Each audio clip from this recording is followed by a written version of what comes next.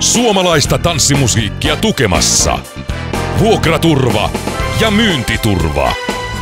Jukka Hallikainen, niin on taas tyylikkäänä Mirri Ojossa ja kaikki. Mm, Mirri tallella, se on aina tallella. Itse asiassa tämä Mirri-hommakin on vaan niinku to, mun velipojan Mark, Markuksella Markon keksintö. Se on äh, mut houkutellut ja suostutellut käyttämään Mirriä. Mä oon aina ollut kravattimies, mutta nyt Mirrin kanssa. Osaatko sä itse solmia sen rosetin? En, en todellakaan, ei mitään. Kuka se solmi? Marko Eikö, tää, on, tää on valmis. Aa. Tää on valmis, ei oo semmonen hieno, mikä solmittaisi. Mitä kuuluu Jukan kevääseen ja Kiitos, kesään? kiitos kuule ihan silkkaa kiirettä. Tää on, tää on lähtenyt hyvin käyntiin tää Marko ja Jukka Prokkis ja, ja tota, näyttää siltä, että täällä on, täällä on niin kuin tilausta ja kansa, kansa on ottanut meidät hyvin vastaan. Tätä tehdään paljon.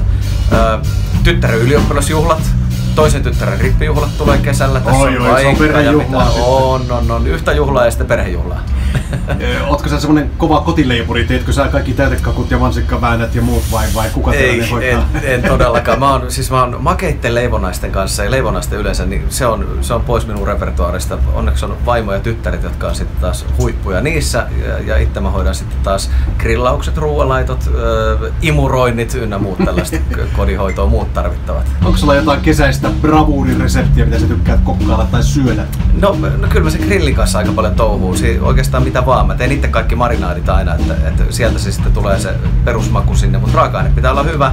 Kotimaista lihaa. Mä tykkään naudan. Naudan entrecote on ehdoton, ehdoton suosikki grilli, grillissä ja siellä, siellä on sopivasti kivasti rasvaa mukana ja pehmeitä mureita, hyvää lihaa, niin, niin tota, sieltä se lähtee hyvästä raaka-aineesta. Sitten oikeastaan mitä vaan siihen kylkeen, niin kaikki toimii.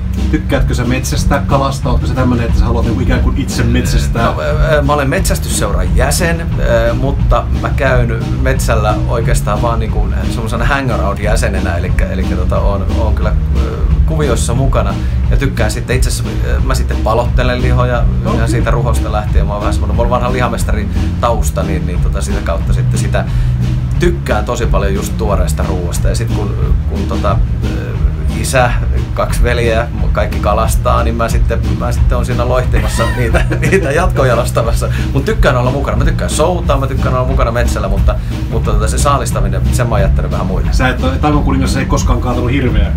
En ole, en ole, en ole. Se on, se, kyllä mä sen vielä joskus kaadan, mä, sit kun mulla on aikaa, koska nyt kun metsästysseurat ne käy viikonloppuisin pääasiassa metsällä, niin, niin tota, mehän ollaan silloin tien päällä. Enkä, enkä ole kyllä autollakaan kaatanut hirveä hyvä niin. Edellisen kerran, kun oltiin täällä koko laiva laulaa risteilyn tiimoilta, niin, niin se taisi olla viime vuoden joulukuun puolella jotain sellaista. Jotain Silloin sellaista. oli vielä eduskuntavaalit edessä ja puhuttiin niistä. Nyt ne on takana. Mikäs fiilikset nyt on? Hyvät fiilikset. Itse asiassa mä oon, mä oon, voisiko sanoa, hieman jopa tyytyväinen, että ei mennyt läpi. Eh, Hirveitä panostuksia mä en tehnyt siihen.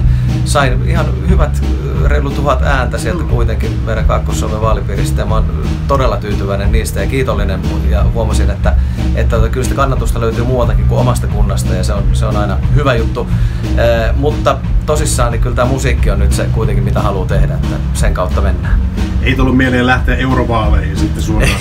ei, ei todellakaan. Mutta neljän vuoden päästä eduskuntavaaleissa siellä mä oon mukana. Ehdottomasti.